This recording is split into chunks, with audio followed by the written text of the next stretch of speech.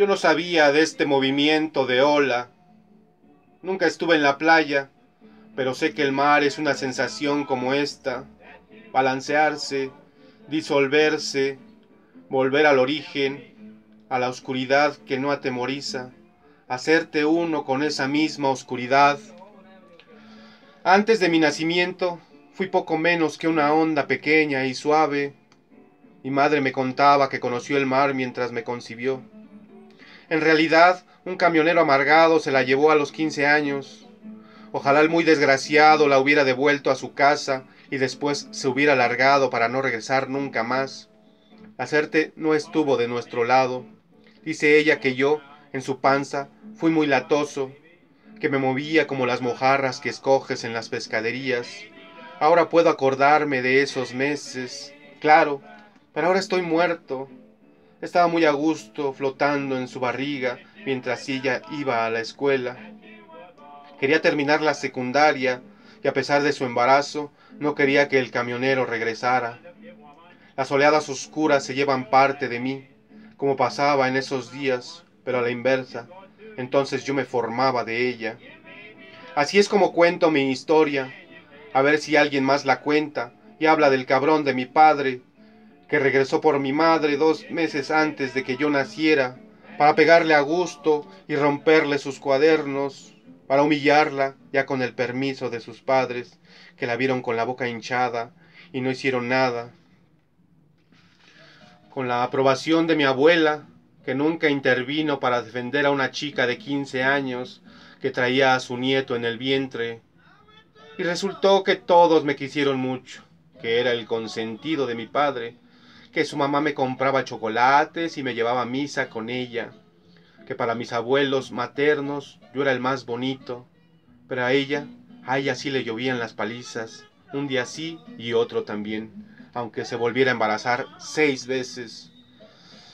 De esos seis se le murieron dos, que ahora parecen hablarme y decirme que los acompañe, que ya estuvo, que nuestro Padre nunca aceptará su responsabilidad por nuestra muerte, que ellos lo intentaron apareciendo en sus pesadillas, pero que él aprendió desde niño a olvidar sus sueños, aunque lo hacían gritar dormido. Para ellos es más sencillo, murieron al nacer yo me quedé a oír los quejidos ahogados después de esos golpes secos, certeros. Yo quise pedir ayuda sin saber cómo y sin que me escucharan en la escuela y en cualquier lugar donde pudiera gritar y patalear para que me vieran violento. Todo fue inútil, la escuela, los maestros y los policías, incluso hacerme su cómplice por temor y conveniencia. Inútil, como mis hermanos muertos, que me dicen que ya estuvo. Estoy bien flotando y escuchando el agua bombear y lavarme. Me hacía falta limpiar mis manos, que tocaron de todo. El resistol amarillo que nos poníamos en los dedos y en botellas de plástico para disimular que lo inhalábamos en la calle. Las cosas que me robé para comprarlo. Las nalguitas de mis hermanas por debajo de sus calzones y solo tenía once años, cuando los años son demasiado largos y faltan muchos para poder huir. Necesitaba refrescar mi cabeza, que se encendía como una olla express, y terminaba golpeando a todos, a mis hermanos chicos y a mis compañeros de escuela, a la banda que me respetaba porque le ponía sus putazos a cualquiera, hasta a mi padre, cuando ya no le tenía miedo, solo odio, con el ir y venir del agua, Siento diluirse la sangre que se me hacía espesa cuando empezaban los trancazos entre escuelas o entre bandas y había que defender el territorio como en las guerras. Entonces la sangre se me iba a los ojos, a los puños y a las piernas y me hormigaban hasta que dejaba de sentirlas, como cuando le ponían la madre a alguno, o se me hacían como de cemento cuando me tocaban los chingadazos a mí. Todo es oscuro y me gusta. Soy un pez de esos que nadan donde la luz no llega. Pero me gustaría saber qué piensa mi padre, si ya se dio cuenta de lo canalla que era, y si deja de preguntarse estupideces como ¿Por qué me salió este hijo así, si yo le di todo? Si nada de lo que quiso le faltó, y responderse a sí mismo y a mi mamá peores estupideces como tú tuviste la culpa porque le consecuentabas todo, porque eres una borracha, y esas cosas que le dice a mi madre, porque sí, ella se bebía hasta el alcohol de la farmacia desde hace unos años, y yo, que me hice de todos los vicios, la entiendo. Solo extraño esa mirada de comprensión que no compartía más que con ella. En cambio, él no entendía nada. De la banda decía, bola de vagos, lo que les falta son unos cinturonazos, mientras yo me cagaba de risa por dentro. Todos mis carnales de los salvajes se habían formado a golpes de sus padres, pero él a mí no me pegaba. Era imposible que ese imbécil tuviera esas ideas tan jodidas, que no se diera cuenta de que todo lo que hice fue contra él, que no quería que nadie me quisiera, porque yo era el hijo favorito de un pedazo de mierda como él, su primogénito, decía él, y eso no podía ser. No merecía que lo quisiera nadie, ni a mí, si es que él se reconocía en mí. Y por eso todos me tenían miedo. A través del agua que bebe, quien me escucha y registra mis palabras, digo que perseguí el odio de las mujeres a quienes provoqué pesadillas, gozando más de la mirada de horror con que veían al escuincle de doce, trece años que les metía el dedo en la vagina.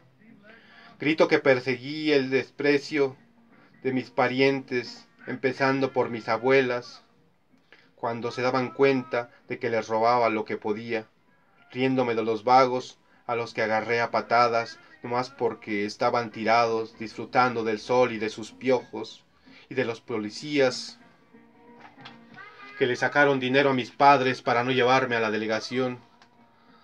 Me acuerdo cuando, ya después de todas las broncas en las que me había metido, a él se le ocurrió llevarme a la correccional de menores.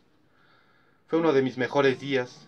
El abogado que, lo recibió le puso una regañiza que lo hizo bolita contra un rincón.